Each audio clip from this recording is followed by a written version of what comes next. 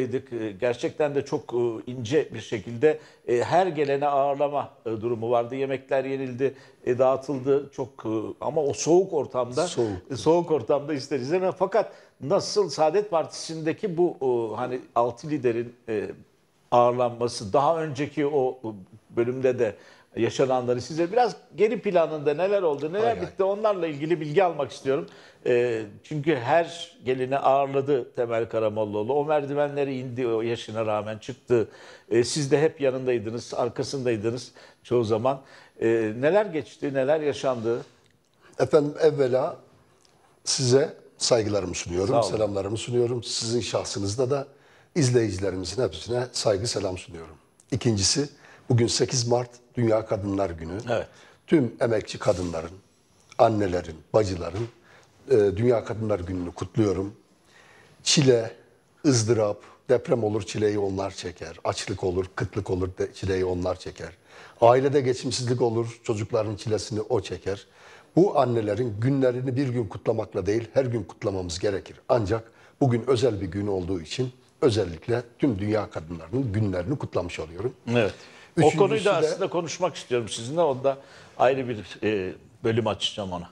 Üçüncüsü de Millet İttifakı olarak bir anlaşmaya, bir uzlaşmaya varıldı. Neticenin ülkemiz için, milletimiz için hayırlı olmasını diliyorum. Zeynel Bey biz e, Erbakan Hoca'nın yanında yetiştik.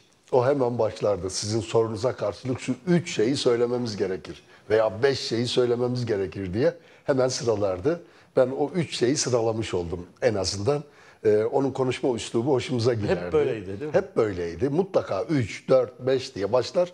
Tek tek açıklardı. Başlıkları verir sonra Baş- açar. evet, sonradan da açıklardı. Siz e, tecrübe itibariyle çok daha iyi bilirsiniz bunları. Erbakan Hoca'yla e, defalarca seçim e, bölüm dönemlerinde hep beraber e, izledim ben. Evet. Efendim şimdi toplantıların geri planı 6 tane partinin ki bilhassa Cumhuriyet Halk Partisi ortağın büyük kesimini temsil eden bir partinin üst üste 3 toplantıyı Saadet Partisi'nde yapması bizim için çok güzel oldu. Eziyetli oldu, sıkıntılı oldu ancak zemin e, müsait olduğu için de güzel oldu. Bizim için niye özellikle güzel oldu diyorum? Bizim bir mahalle var.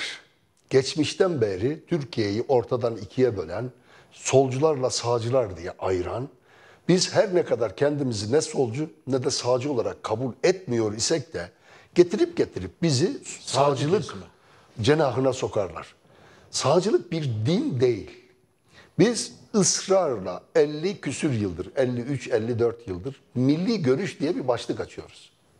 Açtığımız bu başlıkta da kendimizi tanımlarken Allah ne kadar kul yaratacaksa o kadar yeraltı yerüstü nimetleri verir.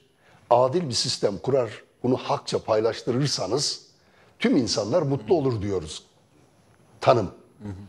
Şimdi sol cenah da hak, hukuk, adalet diyor. Sağ cenah bizi onları böldüğünü zannederek sol jargonla kullandığımız kelimeler hak, hukuk, adalet biraz benzediği için bizi geçmişten beri siz dıştan yeşil gözüküyorsunuz ama karpuz gibi içiniz kırmızı diye bize böyle bir kulp takarlar. Bu 50 yıldır değişmez bir şey. Bu rahatsız ediyor mu sizi? Efendim? Rahatsız ediyor mu sizi? izah etmek zorunda kalıyoruz. Ya biz sağcı değiliz, solcu da değiliz. Ama bu ülkede yaşayan insanların hiçbirine düşman da değiliz. Hangi partili, hangi görüşlü olursa olsun. Ancak rakibiz. Rakiplerimizle konuşmaktan çekinmeyiz. Mekanlarına gideriz, mekanımıza gelirler. Bizim için bizim orada üç toplantının olması bizim mahalle tarafından biz suçlanırken CHP'nin peşine takıldınız bak üç defadır oraya gidiyorsunuz diye suçlayacaklardı. Ben bugün bazılarına telefondan bazılarına da sosyal medyadan cevap verdim. %25 oy almış bir Cumhuriyet Halk Partisi son seçimde %2 civarında oy almış bir partinin binasında 3 tane toplantı yapıyor. Bu CHP'nin bilgisizliğini göstermez. Tabanından tepki almayacağını göstermez. Bu alçak gönüllülüktür. Bu fedakarlıktır. Bu karşıdaki insana değer vermişliktir. Arkadaşlar ne güzel. İşte başörtüsünden hareket ederler. 28 Şubat'ı örnek gösterirler. 28 Şubat'a ANAP taraftardı. Doğru Yol Partisi'nden ayrılan 43 tane milletvekili taraftardı. Milliyetçi Hareket Partisi başörtülü bir milletvekilinin başını açarak başörtüsüne şiddetle karşı çıkan 28 Şubat'ı savunan DSP ile koalisyon kurarak 28 Şubat'ın taraftarlarının taraftarıydı. Eğer böyle suçlayacaksak biz hiçbir araya gelemeyiz. O ANAP'lılar şu anda AK Parti'de. O Milliyetçi Hareket Partisi de şu anda AK Parti koalisyon. Adı konmamış bir koalisyon ama koalisyon. Arkadaşlar etmeyin. Bir süreç yaşandı. Bu sayfayı çevirmemiz lazım. Bunu düşmanlığa çevirirsek Türkiye yaşanmaz hal alır. Gelin bunu böyle yapmayalım. Bakın Cumhuriyet Halk Partisi 3 defadır bizim oraya gelmiş. Bizim partinin reklamını yaptırsaydık yine siz basın yayıncısınız. Çok iyi bilirsiniz. Milyonlar versek partimizin ismini bu kadar duyurmamız Çok doğru. hem de Türkiye çapında değil, dünya çapında. Tüm dünya merakla bunu bekliyordu. Şimdi bu toplantılar olduğunda tüm parti liderleri büyük bir özveriyle, partinin yerinin müsait olması sebebiyle Saadet Partisi'nde olmasına karar kıldı. Biz de onların bu fedakarlığına ağırlamada en üst seviyede elimizden ne geliyorsa e, yemek falan konuşulmaz ama e, soru olduğu için konuşuyorum. Eğer bizim orada çıkan yemekler yetmiyorsa hemen yanımızda ünlü bir dönerci vardı. Oranın fişi basın yayın kuruluşları arkadaşlarımıza dağıtılarak hiç mağdur edilmedi. Çay kahvesi eksik edilmedi. Zemin, ortam eksik edilmedi. Liderler içeride rahatla görüşürken basın da görevini hakkıyla yaptı. Liderlerin yanında gelen arkadaşlarımız en üst seviyede ağırlandı. Temel Bey de bir takım fedakarlıklara katlandı. O merdivenleri indi çıktı. Biz genel başkanımıza dedik ki Sayın Başkanım siz odanızın kapısında durun. Misafirleri kabul edeceğiniz karşılayalım, kapıda. getirelim. Biz karşılayalım, biz getirelim, siz içeri alın. Olmaz dedi ya. Buraya gelmişler, burada toplantının olmasını istemişler. Bu fedakarlığı kendi tabanlarına karşı onlar yaparken biz de kendi taba- e, onların tabanına karşı bir fedakarlık bu bende olması lazım. Yorucu olacak. Belki bir gün dinleneceğim ama bu fedakarlığa katlanacağım dedi. Katlandı. Sağ olsun hiç erinmedi, üşenmedi. O gün geç saatlere kadar belki bir gün önce hiç uyumadı ya da çok az Evet. uyudu büyük bir ihtimalle. Defalarca bunlar Defalarca. konuşuldu. Nasıl yapılacak, nasıl ağırlanacak. Bizim tanıtmadan sorumlu arkadaşlarımız kendine e, yanındaki memurlarla beraber uzun uzun çalıştılar bize. Ne yapacağımız, siz şunu yapacaksınız, şu lideri karşılayacaksınız, şunu alacaksınız, şunu getireceksiniz. İçerideki konuşma bizi ilgilendirmedi. Genel başkanlara yetki verdik. Dışarıdaki kısımda da öyle zannediyorum ki şahit oldunuz. Hiç aksaklık olmadı. Fevkalade güzel bir şekilde süreç neticelendi. Bu süreç içerisinde liderler arasında işte Meral Hanım'ın masadan kalkması, tekrar gelmesi gibi bir takım sorunlar oldu. Ama takdir edersiniz ki dünya çapındaki sözleşmelerde, anlaşmalarda bile zaman zaman masalardan kalkma olmuştur. Zaman zaman kurmaylarıyla görüşme ihtiyacı doğmuştur. Burada da oldu, görüşüldü, konuşuldu, ortaya bir şey getirildi. Ben ülkemiz için hayırlı olacağı kanaatindeyim. Kimse bizim fikrimizi kabul ettiği için oraya gelmedi. Biz de kimsenin fikrini kabul ettiğimiz için orada değiliz.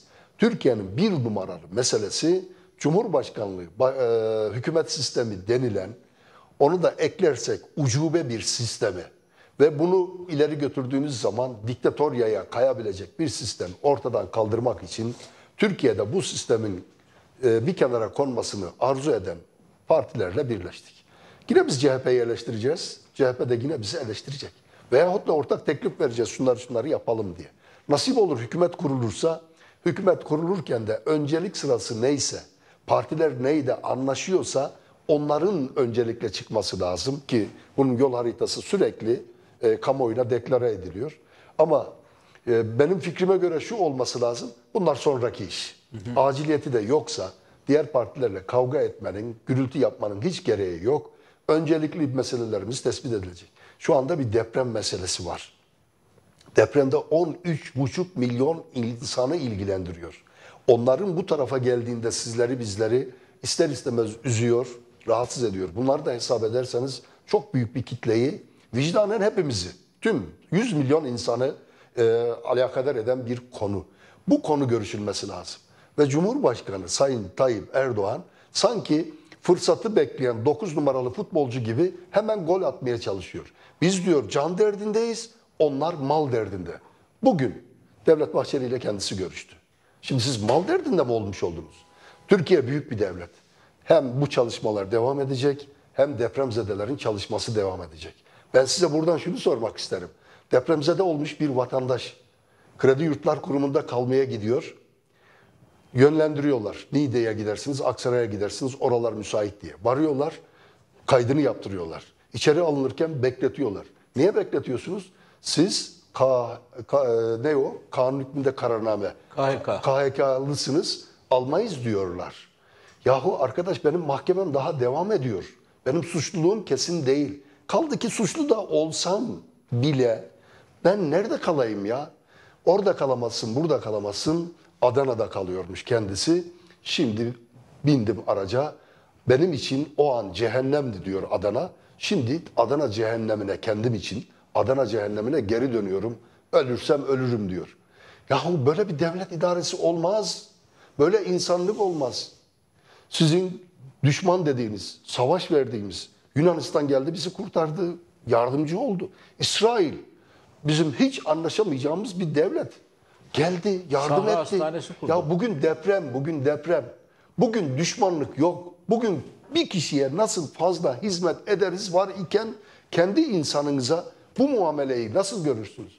Seçim kanunu değiştiriyorsunuz. Bir ay öne alıyorsunuz seçimleri. Siz mal derdindesiniz, can derdinde değilsiniz.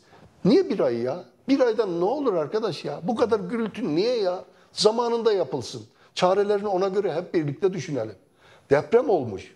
Biz Cumhur İttifakı sahada diye konuşma yapacağınıza hükümet parti sözcüsü tarafından şu muhalefetten hiç olmazsa mecliste bulunan başkanları, grubu olan başkanları yanınıza alın. Şu insanlara birlikte bir mesaj verin ya. Deprem yerinde bile kavga etmeyin ne olur ya. Bunları söylediğiniz zaman belli Adresmen bir söylediler e, yani e, Cafer Bey. E, Cumhur İttifakı sahada dedi, Öyle. dedi Ömer Çelik. Ömer e, Çelik söyledi. Parti sözcüsü.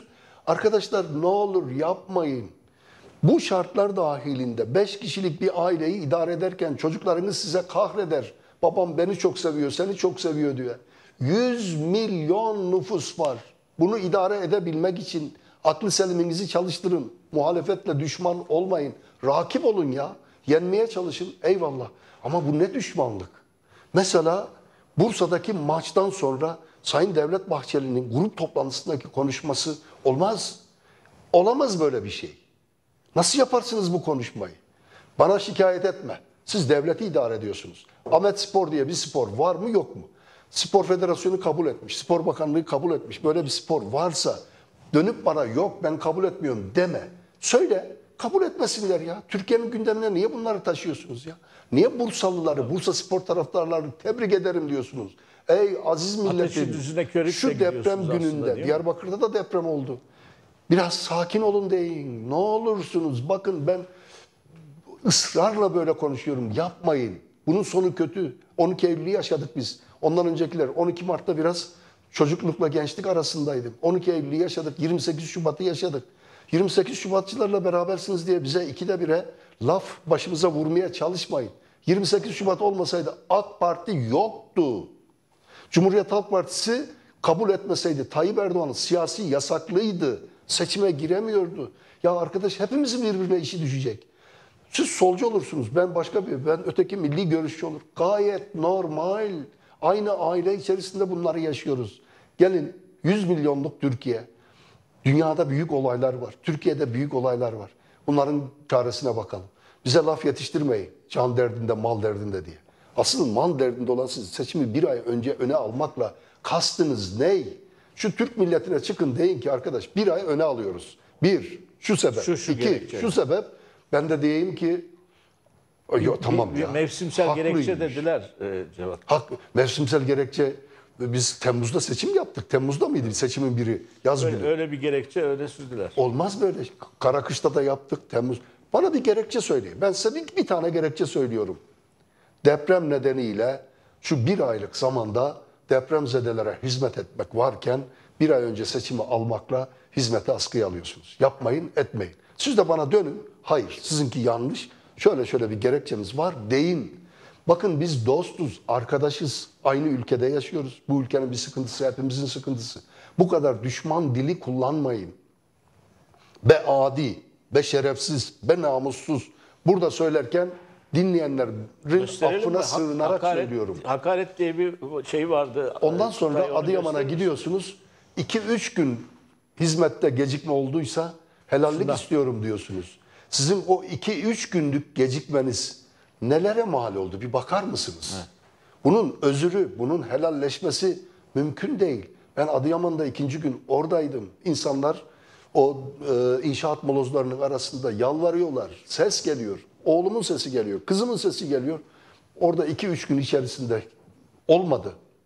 100 tane yer yıkılmışsa iki tanesinde çalışma. Şu anda Bunu- gördüğünüz e, Cumhurbaşkanı'nın Evet. kullandığı dilde seçilen bazı kelimeler gördüğünüz gibi artık telaffuz etmeye gerek yok. İzleyicilerimiz baksın. emin olun etmekten imtina ediyoruz. Ama ne olur bu kadar tiroldür bilmem nedir diye bakanınız, tirolleriniz kendiniz bu şekilde hitap ederseniz ülkeye hizmet etmiş olmazsınız.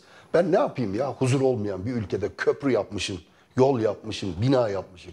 Benim huzurum yoksa, benim mutluluğum yoksa, benim umudum yoksa, benim güvenim kalmamışsa bana yol yapsanız ne olur, yapmasanız ne olur? İnsan kafasında onu tasavvur edecek. Benim ülkem diyecek. Buram buram burnunda kokacak. Ankara'm diyecek. Başşehir. Sıkıntılara düştük mü başşehir mutlaka bir çare bulur diyecek. Sıkıntıya düşünce Ankara'yı kurtarmak için taşrada dua ediyorlar. Ya bu ne sıkıntı kardeş? Birbirinizi yiyorsunuz diye. İnşallah bundan sonrası iyi olur diye umut ediyoruz. Umut ediyorsunuz. Şimdi Kemal Kılıçdaroğlu dün bir grup konuşması yaptı. Orada bütün liderleri teker teker saydı. Temel Karamollaoğlu içinde bir bilge insan diye e, bir e, ifade kullandı. Ve son kez e, oradan kürsüden seslendiğini söyledi. E, bir bölüm yaşandı, bir dönem yaşandı. E, böyle dört günlük bir süreç yaşandı. O beş lider bir araya geldi. 5 lider olarak devam etme süreci de vardı. Çok fazla geriye gitmeyeceğim. E, çünkü bunlar yaşandı bitti diye bakıp ama e, ne olursa olsun halkın e, kafasında bazı şeyler kaldı. E, dün akşam e, Meral Akşener e, meslektaşımız sevgili Fatih Altaylı'nın programına çıktı. Orada Evet. Bir daha böyle bir şey yapmayacağım diye tövbe dedi. Onu bir gösterelim çünkü o çok içten bir tövbeydi sanki. Bana öyle geldi en azından. Bir daha da yaparsa bunu defalarca gö- görüntüleri göstereceğiz bakalım. Vallahi dört gün içerisinde bütün Türkiye'nin kalbini yordunuz onu söyleyeyim size. Ee, Ay hakkını helal etsin herkes bana ama iyi bir şey oldu. Milleti bir hop oturup hop kaldırdınız. Hafta sonunda da bir... Bundan e, sonra yapmayacağım söz. Söz mü? söz. Sö- Söz mü? Bir de yapmayacak mısınız? Peki teşekkür ederim ee, Meral Hanım. Tabii bu sözü benim almamın bir anlamı yok. Yani ben Yo sizin aracılığınızla millete verdik. Ne diyorsunuz? Bir daha yapmayacağım söz diye böyle bir Efendim biz Meral Akşener hanımefendi ile Refah Yol hükümetinde beraberdik. Ben milletvekiliydim. Sayın Akşener İçişleri Bakanımızdı. Akşener'in bazı konuşmalarını çarpıtarak veriyorlar. Akşener diyor ki ben refah ana ana hükümetini engelleyen kadınım diyor. Sosyal medyaya diyorlar ki bak bak Refah Partisi ile Doğru Yol Partisi'nin hükümetini engelledim diyen Yok kadın. aslında, o sonra açıkladı kendisi. Görüşmeler devam ediyordu. Anavatan Partisi ile de Doğru Yol Partisi ile de. Engelleyen ben oldum diyor. Hemen onu çeviriyorlar. Doğru Yol Partisi'ni engelleyen ben oldum diye veriyorlar. 28 Şubat kararları çıktıktan sonra Meral Hanım bir şey daha söylüyor. Yine o da sosyal medyada. Diyor ki 28 Şubat kararları uygulanacak. Ben de söylüyorum. 28 Şubat kararları tavsiye kararlarıdır veya Milli Güvenlik Kurulu kararları tavsiye kararlarıdır. İlgili bakanlara gönderilir. Uygulayacak olan da hükümettir. Yasalar anayasa değişikliği gerekiyorsa değiştirilir. Yasa anayasa değişiyorsa uygulamayacağım diyen bir bakan, uygulamayacağım diyen bir başbakan olabilir mi? Olamaz. Meclis karar verdikten sonra. Meclis karar vermeden Milli Güvenlik Kurulu kararları zaten tavsiye kararlarıdır. Erbakan paşa paşa imzaladı. Hadi imzaladım. Bununla ilgili yasa meclisten geçmedikten sonra olmaz. Bunu söylemediler, çarpıttılar. O günkü gazetelerin başlıklarına bakarsanız bu tabana farklı intikal etti. Milli Güvenlik Kurulu'nun uygulanmayan kararları arşivlere bakarsanız bir kamyon ne zaman ki meclisten geçer, ilgili yasası çıkar. O zaman harfiyen uygulanır. Yok çarşamba ce- ce- cemaatine kılıç kıyafetten dolayı şu uygulanmış bu uygulanmış. Biz o zaman kılık kıyafet e, meselesinde e, karşı çıkan arkadaşlara ısrarla söyledik. Bu çok azınlıktır. Yapmayın. Bu 3-5 tane azınlığı getirip tüm Türkiye'ye mal etmeyin. Şimdi aynı Türkiye Cumhuriyeti'nin meclisinde başörtüsü serbest. İşte 10 tane bilmiyorum belki 12 tane de AK Partili milletvekilleri başları kapalı. Ne oldu şimdi? AK Parti'nin fikri mi değişti? Türkiye'deki gidişat mı değişti? İnsanların zenginliği, fakirliği mi fark etti? Hayır. Başörtüsü bir özgürlük meselesiydi.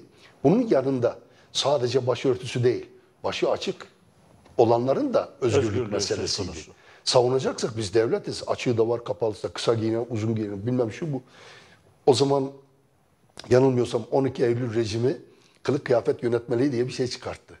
Yönetmelik bende çantamda duruyordu. Bulabilir miyim şimdi bilmiyorum. Affınıza sığınarak söylüyorum. Kadınların tırnağı uzun olmayacak. 12 Eylül'de çıkarılan Evet. şeyden bahsediyorum. Bir şekilde bunlar yapıldı. Evet bunların üstüne Türkiye'yi bina edelim. Hayır. Bu sayfayı alırız, çeviririz. Temiz bir sayfa açarız. Geçmiş yanlışlar geçmişte kaldı.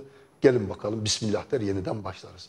Burası 100 milyon. Şimdi öyle bir öyle bir konumda mı hissediyorsunuz kendinizi? Altı parti, Altı parti, farklı farklı, tabii. farklı görüşlere sahip partiler. Aynen. E, Sizin dünya görüşünüzde birçok e, diğer partilerin dünya görüşü bir, bir olmayabilir ya da sizin Gayet- dünya görüşünüze yakın partiler Gayet de olabilir sonuçta. Fakat biz artık o sayfayı çevirdik. Çevirmemiz lazım. Çünkü bir uzlaşma, bir istişare, bir mutabakat e, artık e, ile yönetilecek Türkiye. Zeynel Bey bir şey daha müsaade ederseniz anımı anlatayım.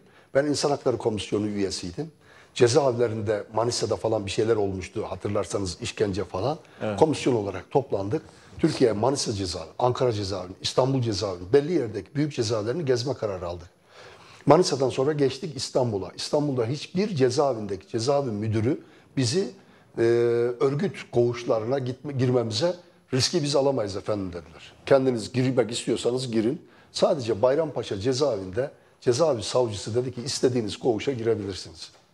Ben heyet PKK'lıların kaldığı koğuşa girmek istedik. Girdik koğuşa.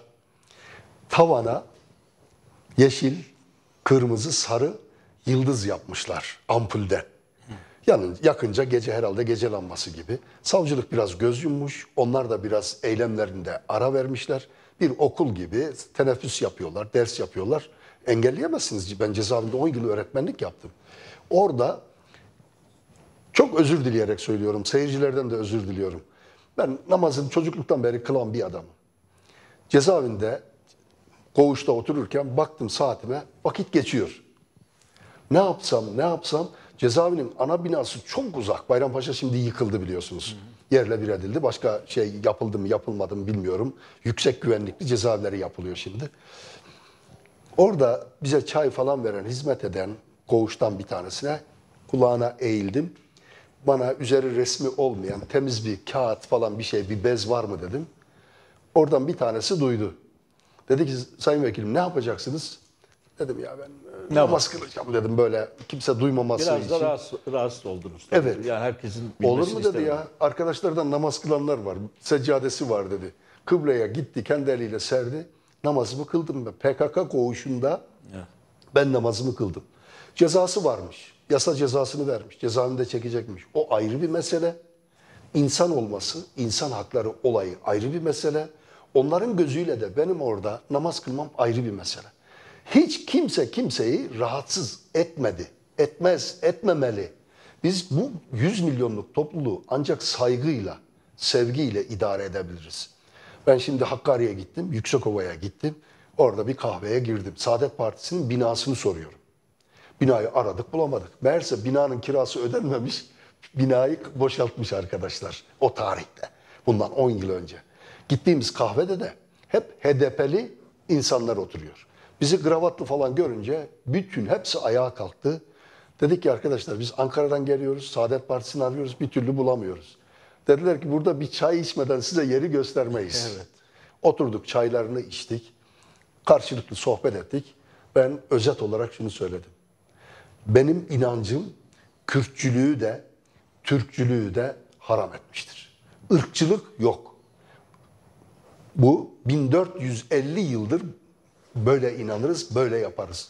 Kürt, Kürtse Kürt, Türkse Türk, başka şeyse başka şey. Birinin diğerine üstünlüğü yok. Ortak özelliğimiz. Türkiye Cumhuriyeti'nin vatandaşıyız. Vergimizi veririz, askerliği yaparız. Bu ülkede de birlikte yaşarız. O zaman- Bunun dışında siz böyle yaşıyormuşsunuz. Akşamları iki kadeh atıyormuşsunuz. Ben namaz kılıyormuşum. Bunlar ayrı mesele. Bunları ben sizinle burada ya nasıl tartışabilirim ya? Konuşmayı zul olarak Zul olarak addederim. Ha öğretmenim ben. Şurada oturduk arkadaşlarla sohbet ediyoruz. Ben kendi bildiğim doğruları size tavsiye edebilirim. Siz de kendi bildiğiniz doğruları, inandığınız doğruları bana tavsiye anlatabilirim. edersiniz. Bundan daha doğal bir şey olmaz. Bunun dışında dikta ederim. Olmaz arkadaş. Bu ülkede Herkes birlikte kendi yaşayamayız. düşüncelerini, kendi şeylerini yaşayacak. Peki burada e, şu soruyu sormak isterim. Madem o konuya geldiniz, e, biraz daha geç e, soracaktım ama e, mesela şimdi artık e, Cumhurbaşkanı adayı seçildi. Kemal Kılıçdaroğlu. Kemal Kılıçdaroğlu bir Cumhurbaşkanı adayı olarak tüm partileri büyük bir ihtimalle ziyaret edecek. İçlerinde HDP de var. Dün akşam e, Meral Akşener katıldığı bir programda CHP yapabilir bunu ama masaya getiremez kesinlikle gibi bir tavır koydu. E, HDP ile görüşebilir ama il, bizi ilgilendirmez ama asla masaya getiremez. Zaten HDP'nin masaya gelmeye gibi bir niyeti yok, ama işte o kendi seçmenlerine böylesine seslenme ihtiyacı duyuyor. Siz ne düşünüyorsunuz? Kılıçdaroğlu HDP'yi de ziyaret edecek. Zaten e, Türkiye İşçi Partisi'ni ziyaret etti, Sol Parti etti, TKP ile görüşecek büyük bir ihtimalle diğer partilerle. Muharrem İnce'nin partisiyle görüşecek. Belki Muharrem İnce'nin e, CHP listesinden aday olması bile konuşuluyor. Bilmiyoruz artık ne olacak. Ne düşünüyorsunuz? Zeynel Bey ne keşke vaktimiz olsa yaşadığımız anıları anlatsak burada. E, bir kısmını anlatın. Çünkü Hatırlarsınız. her söylediğiniz Cumhuriyet önemli. Halk Partisi e, Fahri Korutürk'ten önce bir aday, Cumhurbaşkanı adayı teklif etmişti. Asker emeklisi, milletvekili, Konya milletvekili yanılmıyorsam. E, ismini hatırıma Ne gelince zaman söyleyeyim. şeyden 12 Eylül'den sonra mı diyorsunuz? 12 12 Eylül'den sonra. Turgut Sunalp mı? Yok. Cumhurbaşkanı adayı teklif Cumhurbaşkanı etmişti. adayı. Ee, Hatırlamıyorum. Belki izleyicilerimiz biliyorsa bize tweet atsınlar. Evet, buyurun. Cumhurbaşkanı adayı gösterilince Cumhuriyet Halk Partisi'nin oyları Cumhurbaşkanı seçmeye yetmiyor. Ee, öteki partileri de desteklemiyor. Ama Milli Selamet Partisi desteklerse Cumhurbaşkanı seçiliyor. Bu şahıs Milli Nizam Partisi'nin kapatılmasında rütbeleri üzerindeyken, asker elbisesi üzerindeyken rol oynamış biri. Devlet Güvenlik Mahkemesi. Evet, rol oynamış biri.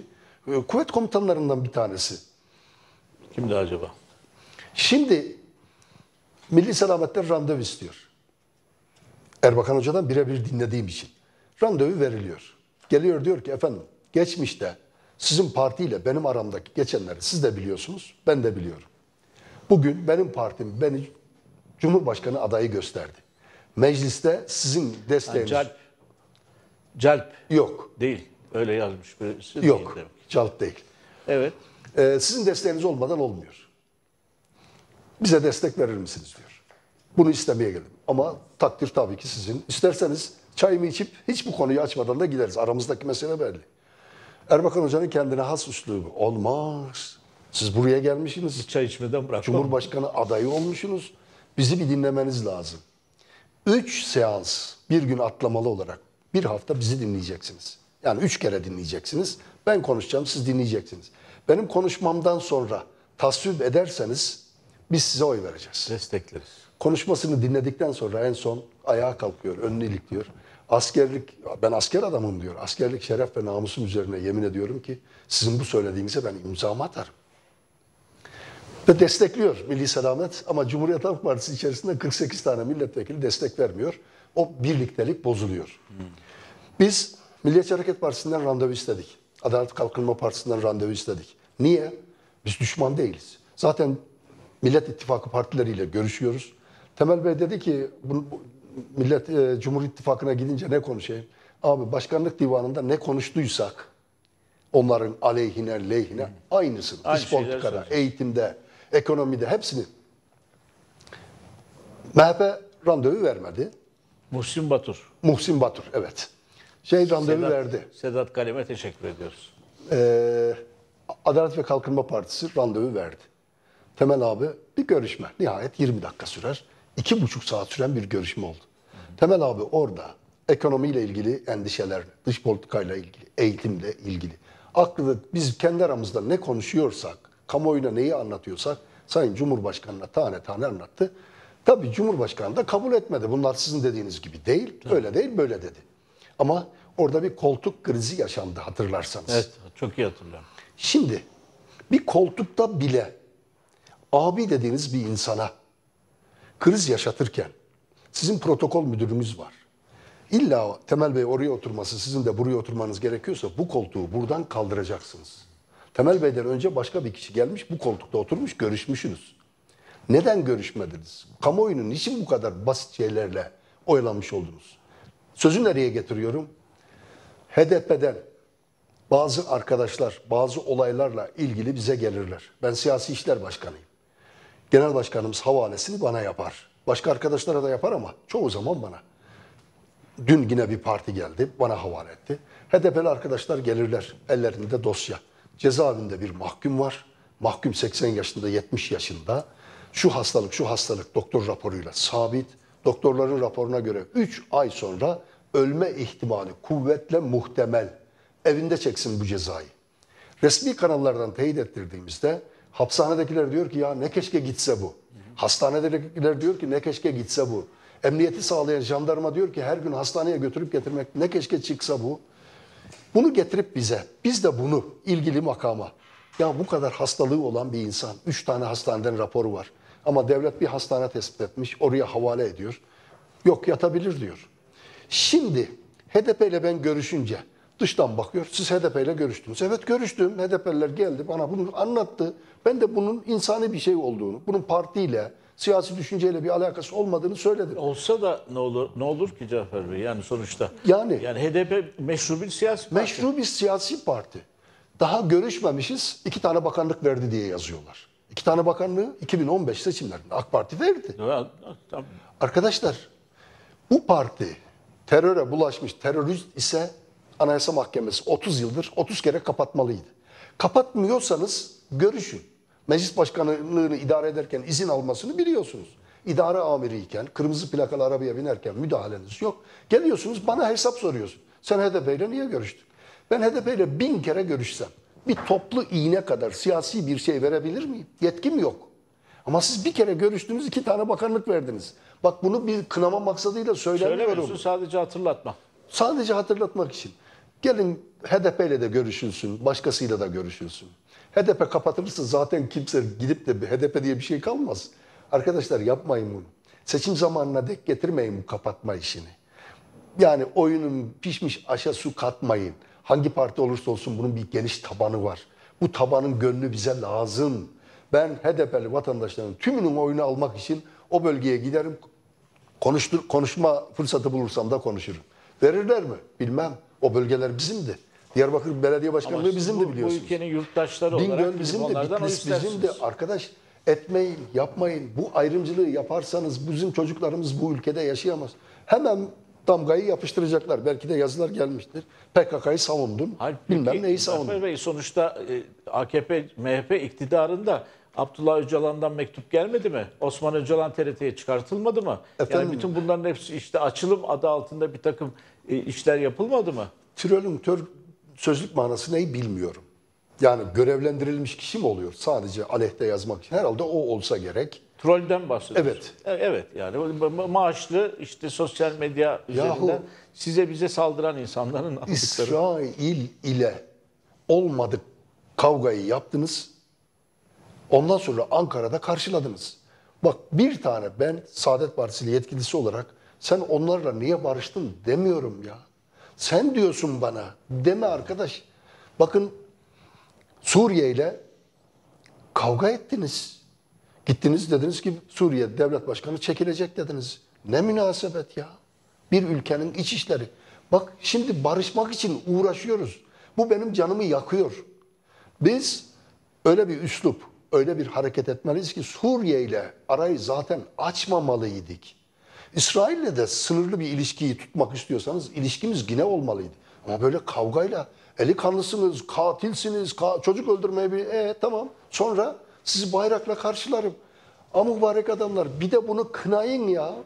Bir de bunu ayıplayın ya. Almanya'ya demedik kalmadı, Belçika'ya demedik kalmadı, Fransa'ya demedik kalmadı. İslam ülkelerinden Arabistan'a demedik kalmadı, Birleşik Arap Emirlikleri'ne. Ne oldu Süleyman Soylu? Söylediğiniz bu laflar Amerika'ya demedik kalmadı. 15 Eylül'ün tezgahı İncirlik hava üstünde oldu. Birleşik Arap Emirlikleri'nden finansör, finansı sağlandı dediniz. Arkadaş gittiniz sarmaş dolaş oldunuz. Bak biz istediğimiz kadar sarmaş dolaş olalım. Bizim vereceğimiz bir şey yok. Siz yapıyorsunuz ne yapıyorsanız. Gelin kamuoyu desteğini, diğer siyasi partilerin desteğini arkanıza alın. Kimle görüşecekseniz biz size destek verelim. Biz devlet idare ediyoruz, çadır idare Tabii etmiyoruz. hem iç politikada hem dış politikada Bu e, milleti kapatamayacak. Amerika ile bir türlü uyumu sağlayamadınız. Parasını verdiğimiz e, F-35'leri ortağı olduğumuz bazı parçaların Türkiye'de yapıldığı F-35'leri alamıyorsunuz. Şimdi F-16'yı aldık alıyoruz. F-16'nın modası geçmiş kardeşim. F-35'in tamamen şeyinden çıktınız. e, Gündemden çıkarttınız, çıkarttınız. parasını verdiniz. Parasını Parayı aldınız mı? Yok. O da meçhul. Yok. Almadınız. Ne olur bir araya gelelim. Bir şey soracağım Cafer Bey. Şimdi bir buçuk seneden beri diyelim ki e, diğer beş partiyle istişare içerisindesiniz. Liderler olarak, kurmaylar olarak sizler sıkça buluşuyorsunuz bir arada. E, daha önce e, ben bunu hiç düşünmemiştim. Ya bu adamın söylediği hiç alt- yat- yatkın. E, yani birbirlerinizin fikirlerinden etkileniyor musunuz? Mutlaka. Mesela ben e, Sayın Kılıçdaroğlu'yla Genel Başkan Yardımcısı olmadan evvel Çukurambar Mahallesi'nde Teoman Öztürk Parkı diye bir parkımız var. Yanında da belki 50-100 kişinin otur e, sahibi olduğu 3'er metre, 10'ar metre, 2600 metrekarelik bir yer var. Buranın parka katılması için sivil bir vatandaş olarak randevu istedim. Orada danışmanlardan biri arkadaşım, yardımcı oldu. 4-5 kişiyle Sayın Kılıçdaroğlu'na gittik. O kadar nazik, o kadar kibar davrandı ki. Sen dedi bir de millet için bir şey istemeye gelmişsin ya. Bundan daha doğal bir şey olabilir mi dedi ya. Hemen Büyükşehir'e telefon etti, Çankaya'ya telefon etti. İşimiz oldu olmadı. Ben zaten onu mahalle için görüşüyorum. Görüşmeye de devam edeceğim. Şu telaşımız biraz geçsin. Çünkü tüm oradaki insanları ilgilendiriyor. A- Affınıza sığınarak söylüyorum. O bölge sahipsiz olduğu için belediye sahip çıkmıyor, şahıslar sahip çıkmıyor. Mahalledeki e, bir okul var. Okulun yanı o boşluk arazi. Çok affedersiniz özür dileyerek söylüyorum. Köpeklerin barınak yeri gibi oldu. Okul çocuklarına köpekler saldırıyor. Oradan geçenlere saldırıyor. Oraya şikayet, buraya şikayet bir türlü onu önleyemedik. Tüm Türkiye'de de bu sıkıntı var biliyorsunuz. Ee, kibar, nazik. Ne diyor? Hak, hukuk, adalet. Ya bunun neresine karşı çıkabilirsiniz siz? Hayır kardeşim bunu alırım ben, çerçeve ettiririm, partideki odama asarım. Adalet deyince akan sular durur ya. Adalet. Devletin dini adalet diye Hazreti Ali'nin müthiş bir tanımlaması var ya. Bunu Kemal Kılıçdaroğlu söylemiş ama. Vallahi kim söylerse söylesin. Biz de söylüyoruz, başkası da söylüyor.